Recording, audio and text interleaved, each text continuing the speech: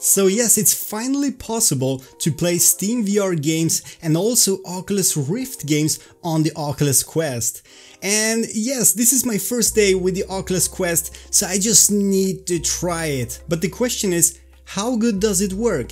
Can we really play those games without major issues? And can we also play some VR simulators on the Oculus Quest? Well, let's find out. I will get to my results at the end of this video, but first I want to show you how to get this running. A big thanks to all my Patreon supporters and a special thanks to my official sponsors on Patreon, Commander Darklight, Art Armin and VR Ambassador.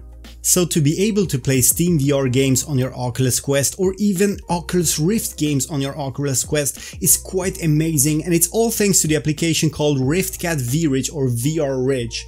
You are gonna need to pay for it to be able to use it for more than 10 minutes per session, but I promise you it's really worth it. It's around 15 euro, I'm not sure how many dollars that is, but it's a one-time payment and once you pay it you can use it on unlimited devices such as the Gear VR, the Oculus Go, Oculus Quest, Quest and many others. So go into the RiftCat website and if you use my link over here, go.riftcat.com slash Sweviver, you're also supporting my channel, so thank you very much for that. I already paid for the application since long ago, so I'm gonna start off by clicking the download button and download the application itself. Just create a temporary folder on your desktop or wherever. So let's start by installing RiftCat and the installation process is very fast, it's quick and over in just a few seconds, including some updates made upon first install. When the application is installed, we have to do a couple of more steps. You have to connect your Oculus Quest into your PC with the provided USB-C cable. You're not gonna need that while playing games, but at least now during the installation. Also, you will need to open up your Oculus application on your smartphone and go into settings, then click more settings, then go into developer mode and enable the mode. When you try to enable the developer mode for the first time, it's gonna say that you have to create a developer organization on the Oculus dashboard. You can simply just create a new organization with just a few clicks by visiting this site. I'm gonna give you the link in the video description of course. Just type in your name of your organization, whatever you want, and then click send. Now when it's done, you can enable the developer mode in your smartphone Oculus application. Now open up your browser and go into this web page. I'm gonna give you the link in the video description and this is the RiftCat Help Center which has a full tutorial on how to install VRidge on Oculus Quest step by step and we're gonna just follow this guide. Let's begin by downloading the VRidge for Oculus Quest application file, put it in just a temporary folder and do the same with the Android ADB tool and put it in the same folder again. Now in the folder you're gonna have two files, the VRidge Quest 1 APK, the application file, and the platform tools zip file. We're gonna start off by extracting the zip file to the same directory. I'm doing it with WinRAR, but you can of course use any kind of extracting tool. As you can see, we have extracted the zip file now and we're gonna copy or move the APK file into that new folder. Now enter the folder, hold down the shift key on your keyboard, right click within this folder with your mouse and you're gonna see an option called open up PowerShell window. If we go back to the tutorial, you're gonna see there are two things we have to type in into the PowerShell. The first one is this, which I just copied and when you right click on the PowerShell, you're gonna paste it in there. Now hit enter and if you have never done this before, you're gonna get a device unauthorized. This means that you have to authorize it inside of the Oculus Quest headset. So grab your Oculus Quest now, look into it and you're gonna have a prompt saying that you have to agree on the authorization. Just do it. Do the same command again in the PowerShell and now this time the device is authorized. Now go back to the tutorial and copy this line without those quotes outside. Just copy the line, go back to the Windows PowerShell and just right click. Now when you hit enter, the for Quest is gonna get installed and it's gonna say success. So now we're basically done with this, close down the windows and put on your Oculus Quest and go into your library, unknown sources and start up the VRidge 2 beta that we just installed. Go back to the RiftCat client now on your PC. You're gonna see that it actually found your Quest now. It's asking, is that your device? As you can see, we're using Wi-Fi here. Unfortunately, USB is not supported yet for Quest as far as I know, so it's not working even though you have the device connected. So you can simply now unplug your Oculus Quest from the USB cable and have it wireless. Click on the Wi-Fi, click yes now, and it's gonna connect to your device. Now you're gonna see that it says free 5 minutes and that's strange because the website says 10 minutes per session but it's only 5 here. Anyway, I would strongly recommend you to register an account and once you have done that, just log into your account by typing up your credentials. Now once you're logged in, you're gonna see that you have the full version with unlimited time. So now the PC is basically connected to the Oculus Quest, but before we start up SteamVR, let's go into the VRidge settings. The general tab has only the language, but the VRidge tab has a presets for the quality that you're gonna see inside of your Oculus Quest. Uh, I'm gonna use high this time and I'm gonna use the resolution of 2560 x 4040p, which is the highest one. But if you have a slower connection, I would recommend you to use like 1080p or even lower turn on the audio streaming as well and also bring up the advanced settings. You can of course use this slider for quality only to just change the values between 1 and 10 but opening up the advanced settings you can have a lot more options. In the advanced settings you can actually change the frame rate between native 72Hz which is what the Oculus Quest is running in. You can use half native which is only going to be 36 frames and in 60 frames if you're watching movies for example. Next up you can change the bitrate and at default is at 17 megabit, which is quite okay and I think most routers should be able to handle this over Wi-Fi. The render scale is set to 100% and you can change that to any value possible up to 200%. So let's try this and see if it's gonna work. It's kind of like a super sampling mode for this VRidge software. For the streaming options we're gonna use the Nvidia built-in one of course because it's supposed to be the best one and let's leave the streaming mode just as it is.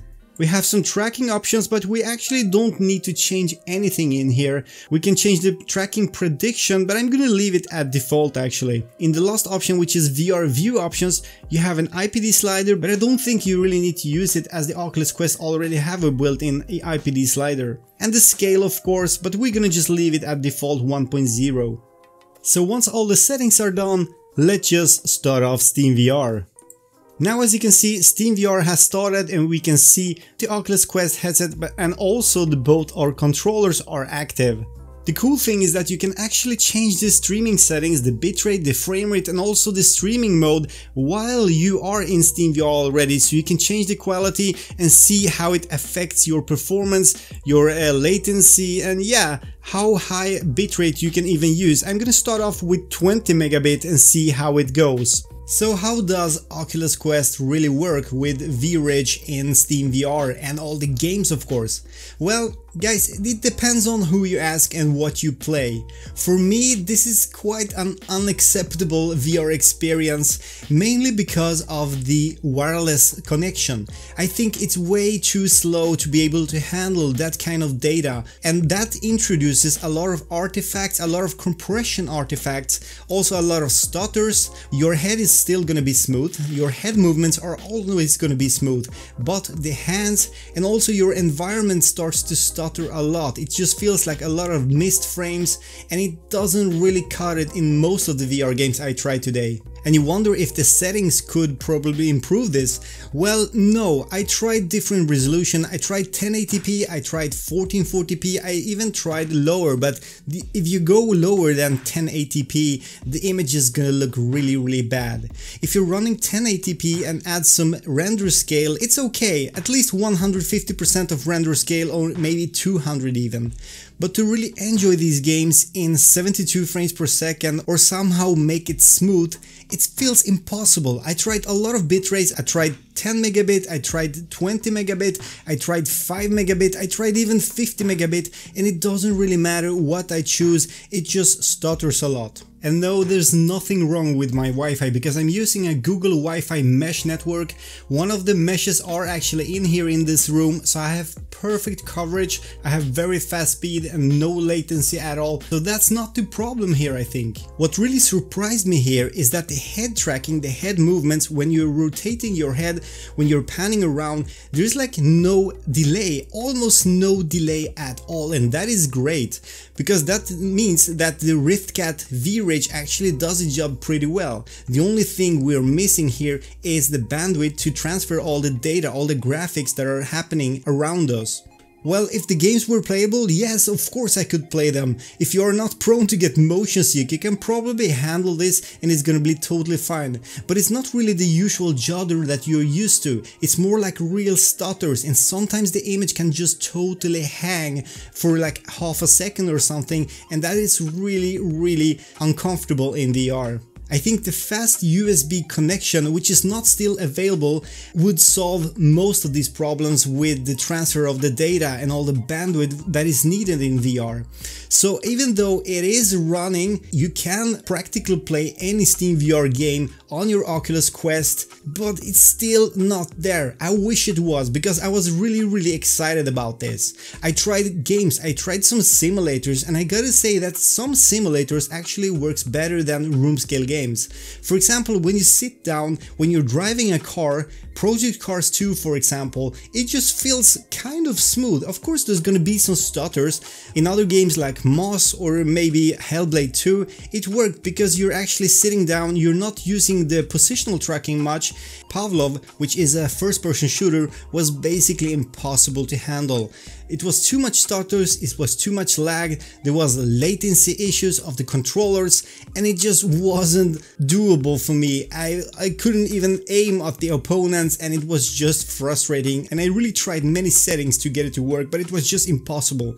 Skyrim was playable of course, but it gets frustrating. There are even doors that you cannot open because there are some buttons which are not mapped and I'm not sure if you really can remap the buttons, I need to investigate that. So in terms of regular games or room scale games, I think RiftCat V-Ridge is not there yet, it needs the USB connection. X-Plane 11 in VR on the Oculus Quest was quite an okay experience, even though I had some stutters but it was still fully playable and yes the image was good with some added render scale on super sampling with a bitrate of around 20 megabit, it was quite good looking actually, I was quite surprised. You could read the gauges, you could see at far distance and it was just like playing X-Plane 11 11, but all the stutters just made it a little bit frustrating. DCS or Digital Combat Simulator on the other hand was just impossible to handle especially when flying such a fast airplane as the FA-18 Hornet. The scenery is going so fast by you, so the bandwidth is just not enough to handle all the graphics which are rendered.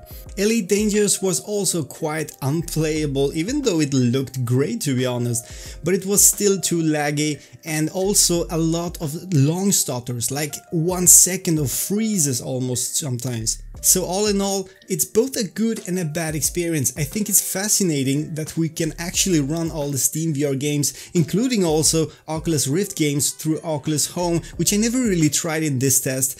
It's quite amazing that we can do that wirelessly on the Oculus Quest. But if this is a good VR experience, especially for beginners, no, I don't think so. I think beginners who actually just started off with VR should stick to the real VR games for now and wait until Rift solves some of the bandwidth problems and makes USB connection at least possible to run this with a full bandwidth and graphics without any lag, without any graphical compression and issues that are introduced right now.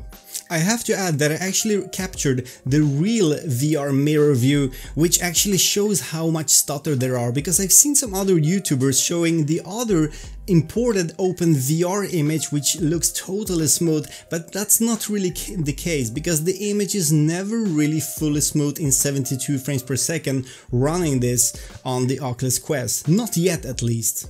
So guys, this was it for this time. This was actually my first day with the Oculus Quest and I just jumped right into the geeky stuff already, but that's just me. Guys, let me know what you think. Thank you so much for watching. Lastly, a big thanks to all my lovely Patreon supporters and a special thanks to my official sponsors on Patreon, Commander Darklight, Art Armin and VR Ambassador.